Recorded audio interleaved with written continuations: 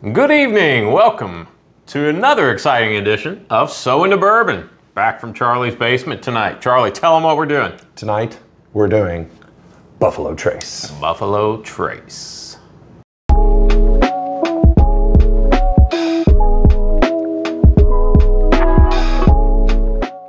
So, if you're a bourbon drinker, whiskey drinker, and you're anything like we are and have been drinking for a while, you're even a little surprised that we're doing a Buffalo Trace episode. But that's where we are today because Buffalo Trace has become an allocated bourbon, a hard to find bourbon, something that was readily available, what I would call the, the quintessential shelfer, right? Wherever you went in America, so. you could find a bottle of Buffalo Trace. 100%. Is that the case now, Glenn? Uh, depends on where you are.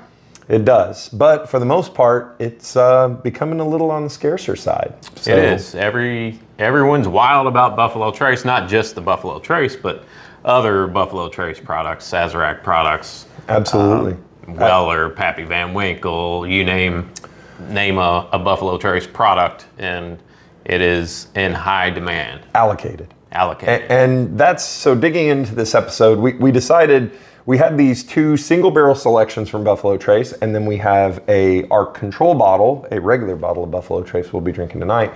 But in kind of doing our research for the episode, you know, we if you're kind of new to bourbon, you think, oh, Buffalo Trace, that's a you know a standby. It's been around forever. And really and truly, the, the brand hasn't been around for that long. It was released in 1999. It was 1999, and speaking of 1999, this bottle here in the middle is possibly from that first release. It was purchased around 99, 2000. Um, it's been sitting in my in my liquor cabinet for that whole time. That's why it has a different color top on it. If you notice that, because we just opened it and the cork I broke it. I broke the cork. So this bottle has been around for 23 years, just waiting for this moment right here. So, but Buffalo Trace as a distillery, again, we think of them today and the products that they put out and the brands that they have, whether it's the E.H. Taylor, the Elmer T. Lee, the Pappy Van Winkle, the Wellers, steeped in history, brands steeped in history.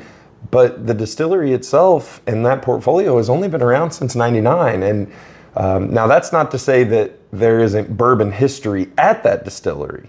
The, the distillery has been distilling, someone's been distilling on that site since around 1775. Yeah, over 200 years. Supposedly, it's the oldest continuously utilized distillery in the United States. Yeah, and it was previously, before it was Buffalo Trace, it was most recently the George T. Stagg Distillery when it was purchased by Sazerac Company in 1992. So in Kentucky, in distilleries, especially older distilleries, you can't kick over a rock without finding some sort of awesome history about our native spirit. Yes, and if you look through, you know, I was doing a little research for this episode, and um, the names of the founders of Buffalo Trace. You mean through through time? Right. yeah, you mean guys like Hancock and Taylor and Blanton Yes. were all people, real people that were at that site. So Albert again, T. Lee, Pappy Van Winkle, Julian Van Winkle the second. keep going down the list. They were all there. So yes, it's a new brand. Yes, it uh, well we say new. It's 23 years old, 24 years old now, but uh, but just steeped in history at that site. So Absolutely, and I am. Uh, I'm. I'm kind of ready to to get jumped in here and, and start tasting some of this. Uh, Do you I- have anything else to, to add before we start? We'll kind of drink and talk as we go. Um, so I think we'll start with our control, which is our 23 year old bottle of uh, Buffalo Trace. So Buffalo Trace has an undisclosed mash bill. They do say they have two different mash bills. They are affectionately known as Mash Bill 1, and the other is known as. Oh wait, let me guess. Mash Bill Four. No, Mash Bill 2. That's a good guess. Close. Uh, Mash Bill 1, which is Buffalo Trace, Benchmark, Ancient Age. Um, there's one I'm forgetting. Blanton's. Those are all the low rye mash bill. Um, everything else that's not a wheated falls into the higher rye. When they say low rye, they mean less than 10%. So your Elmer T. Lee, your Buffalo Trace. What else? Anything else? Uh, your Elmer T. Lee, Buffalo Trace. Oh, Eagle Rare, E.H. Taylor Stagg, Benchmark. Uh, those are all mash bill number one. So shall we? Uh, shall we nose? Absolutely. Oh, we'll we'll cheer. Yeah, cheers to nosing. before, so Charlie and I were noticing that this bottle, the bourbon appears to be a little bit darker Yeah, it does. than, it definitely than does. the modern day bottle. Not, we don't know why that is. Yeah. If we would have thought this out, we would have tried to find a modern or a more recent bottle to compare that to. But then you're comparing four, and really and truly, we just wanted Sure. to drink this. So, really nice nose on that. Yeah, it's got a nice nose. Um, so, Buffalo Trace, 90 proof. Um, kind of that sweet spot of just proofy enough. Uh, nice, sweet, mellow. No, no ethanol. No mellow, ethanol at A little all. bit of corn, little little syrup. Yeah, I was gonna like a little burnt sugar, just a Mm-hmm. little bit though, nothing too crazy. It's a nice kind of quintessential bourbon nose. A Little cola. Cheers to your Cheers, sir. 24 year old bourbon. It's got nice legs. Mm-hmm.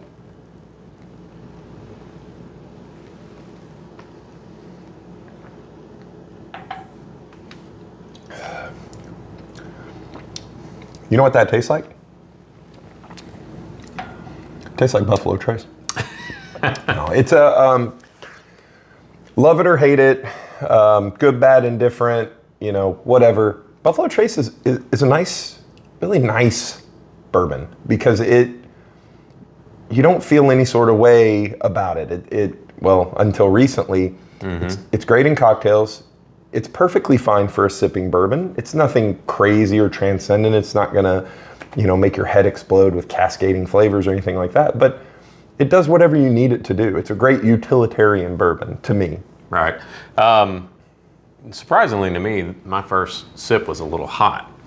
A little spice. when you say spice, a little peppery. Yeah, a little peppery Yeah. on the tongue. It is our first sip of the night. though. Yeah, so I'm I'm anxious to kind of take another sip here and see if that mellows out a little bit. And I will tell you, it's been a while since I've drank Yeah, Buffalo just Trace. plain old Buffalo old- Trace. I, I couldn't even tell you when the last time. Well, in our area, so Kentucky in southern Indiana, where we live, it was one of those things where Buffalo Trace was just everywhere. So we never really drank it because anywhere you went had Buffalo Trace. I mean, for a lot of bars and a lot of restaurants in our area in the previous years, it was a well bourbon. Mm-hmm. And now, you know, I can vividly remember five or six years ago going into liquor barns and party marts and there being 25 stack case Right. displays with a giant buffalo statue and buffalo trace for $14.99 on special. And now, if they have it, it's probably on a table limit one per. Well, and if you've been paying attention, you know that Buffalo Trace just opened a new still, correct? Mm-hmm. Um, and that's going to give them much more capacity. So I'm wondering if it's we're going to get to the point where their products are a little bit easier to find, Well, that's- or is that going to a lot of that going overseas? That's a great point. And the thing to remember about that is yes, they doubled their immediate production. So they Buffalo Trace can now produce 60,000 gallons of alcohol per day with their f- 40 foot tall column still and all lot that of stuff. gallons. That's a lot of gallons. However, Buffalo Trace is said to be between six and eight years old. So that means production started, let's just say, two weeks ago. It's going to be a minimum of six to eight years before we even get Buffalo Trace. Weller 12 is, you want to guess how old Weller 12 is? Hmm, Let me guess. Do some math. Um, Twelve. 12 years old. So it's going to be a minimum of 12 years old. And then you just go down the line for the Pappies and everything else. So, yes, it helps, but they're just hoping at this point to be able to keep up with demand. So, Sure. I- that's a really nice pour. I, it- it's, v- it's a low rye mash bill, which is not usually in my wheelhouse, and it's high corn, but it is not corny. It is not corny At all. Uh, I you can taste the corn a little bit. Yeah, um, I'm a getting a little way. bit more on my second on my second uh, taste there. I was picking up a little bit more of the vanillas. Yeah. And uh, a little bit of that uh, cola flavor to it that is, you know, Yeah. so It, it, also, my my note that I always pick up. So it does linger a little longer for a 90 proof does. too. It kind of hangs around a little bit in a good way, um, a welcoming way. You kind of want to drink some more. Um, and as you can see, we have three different bottles. The one in the middle is our control or our regular Buffalo Trace, and on each side are single barrel selections. So this one here is from Cox's and Evergreen. It is a Buffalo Trace. It is still 90 proof, just like a, any other one, but it is a single barrel selection. So we're going to see if those single barrels are kind of worth it. Are do they stand out? Are they really different from Buffalo Trace, the regular, while we cleanse our palates. with water? Yours is water, right? Not vodka. Ah, like yes. So I'm as we, anxious, anxious to see the difference. yeah, definitely notice a different in color from from the other. A lot lighter. A lot lighter. Yep. To your point, though, it still's got really great cling to the glass. It does. It doesn't. Um, I mean, it just puts a ring the- around the top. Yeah, the first one it actually kind of developed rained legs, down. but this just kind of sticks. Yeah. Really different nose. Yeah. Really different Um, nose. I get I get a, a more kind of floral That's what I was gonna say. Kind of. It, it's, on that. It's really, more of a muted yeah. nose, not so much in your face, but And this one's the, full disclosure. This is one of my bottles. that's been open for probably I don't know, maybe six, ten months, somewhere around there. But let's give it a taste. yeah, cheers.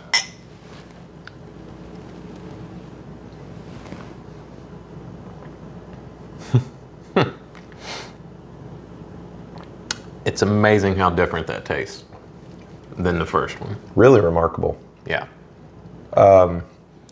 I don't get really any. Uh, so none of the pepper. None of the pepper at all. Not any of the sweetness that I got on the first one.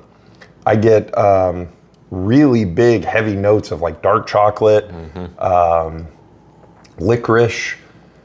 It's very mellow. I mean, a dangerous bottle because there's no burn, there's no Kentucky hug. Um, it, it's a very. It's not complex. No, it isn't. It's it's once again just like the nose. It's a little muted, but it's a very pleasant flavor. There's I do I do get the licorice. Um, I felt like this one actually drank higher than a 90 proof. Yeah. The first one. This one does not. It, And it is that one is first open. That one's had time to have Sure. some alcohol evaporated off, so that makes sense. it does make sense. But definitely t- a, Yeah. a totally different kind of animal, both on the nose, on the palate, on the finish.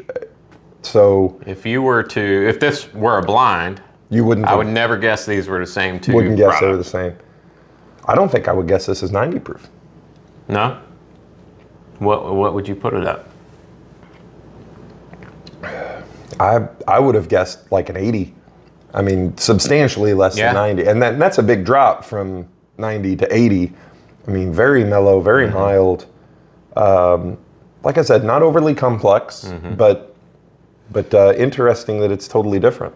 Yeah, I would have guessed on this one. I would have guessed 100 proof. Yeah. This one, I it, it definitely, I don't know, 80, 90. Definitely not as proofy as. Yeah. Now I'm super excited original. about that third one. Tell us about the third one, Charlie. So the third one, got lucky, found this one at a local local liquor store. Um, it is from the Mega Liquor Beer and Wine, which is Mega liquor beer and wine. Liquor Beer and Wine, which is I believe like a local co-op. They own a couple different independent liquor stores. Okay. Um, and snagged a single barrel. And this is another thing in, in the current bourbon economy. Um, you used to be able to Yes, find sir. these all the time.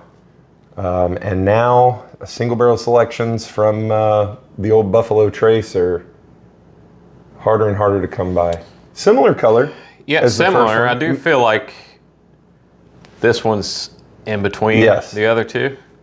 Not quite as light as this one, not quite as got a dark. really interesting color, it, uh, almost like a like a sepia, like, Yeah. like a like it's almost translucent. I see that. I can see that. It's uh, which is really surprising out of a six to seven year old or older 90 proof bourbon that it would kind of have that color. But all right, here we go. Nose it up. I feel like we're heading back towards this way. I do too. It's a little more in your face than than number Yeah. two here. Not quite as in your face as number one. Yep. And again, a fresh pop. We just popped that cork mm-hmm. minutes ago.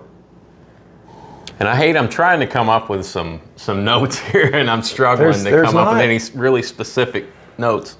It's not a complex bourbon. No, it, it it's nothing that's going to. It, it's a, and I don't want to say a beginner's bourbon, but it, it's a, it's a shelfer. It's a daily. It's nothing that's going to wow you. You're not going to hand it to somebody and smell this and cascading Right, right. flavors. But I'm having a hard time just getting anything. Yeah, I'm getting a little more corn.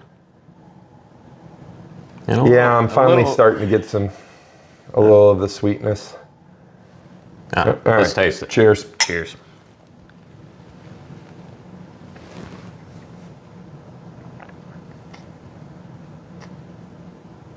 Okay, so the pepperiness is back.